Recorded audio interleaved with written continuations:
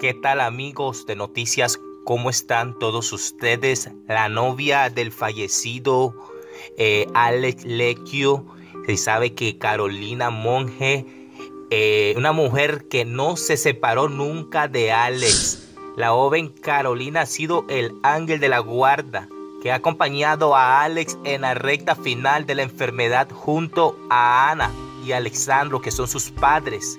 Se sabe que ella también ha compartido un mensaje que dice, te amo, te quiero, te voy a extrañar, mi amor Alex. Se sabe que Alex Lecchio ha perdido la vida el día de hoy miércoles a causa de la leucemia que con la que llevaba luchando durante los últimos dos años.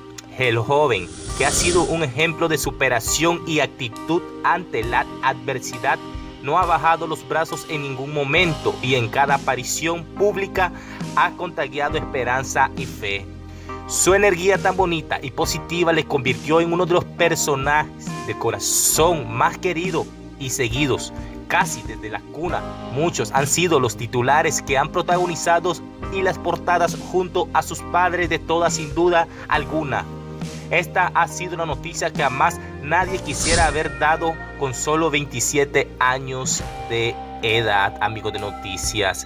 Se sabe que Carolina fue a Barcelona cuando después de varias valoraciones de la enfermedad de Alex, su novio, en Madrid, la familia al completo se trasladó a Barcelona para seguir allí el tratamiento en las visitas que recibía a diario. Se sabe que ella siempre estuvo con él, nunca se separó en ningún momento de Alex, su novio.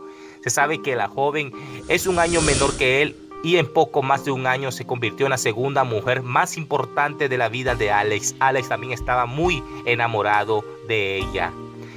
Eh, muy lamentable, amigos noticias, también nosotros expresamos nuestras condolencias a sus familiares y amigos. Pasa su alma, yo soy Entérate con Víctor y nos vemos hasta en el próximo video.